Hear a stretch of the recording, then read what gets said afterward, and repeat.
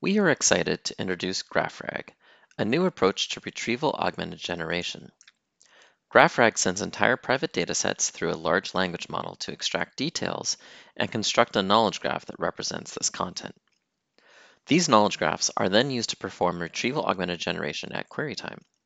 Let's start by taking a look at one of these graphs that we've created.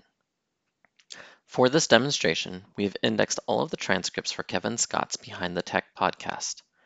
As the transcripts are ingested, we ask GPT-4 Turbo to extract all entities and relationships.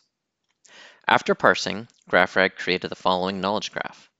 To orient you, each node represents an entity, and the size of each node is relative to the number of nodes it is connected to. For example, Kevin Scott is shown here as the prominent node that is connected to most everything. This makes sense as he is a host of the show. Each color represents a topic of interest. These colors show the semantic communities that GraphRag builds using graph machine learning during the source data indexing.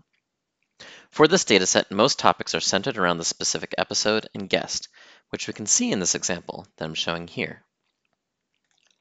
Using GraphRag, we have shown dramatic improvements for several types of questions where RAG is known to fail. While typical vector search RAG is excellent at performing retrieval for highly specific facts, it lacks the ability to perform any operation that require higher order reasoning and understanding over the dataset. For example, let's consider the query, what are the most odd conversations discussed? Traditional vector search will find similar text to the question and provide that back to the LLM to answer the question with. This vector similarity approach works well if the query provides specific content that can be closely matched with the source data. What are the most odd conversations discussed doesn't match any specific content and instead requires a holistic understanding of all the content. This is where GraphRag can help.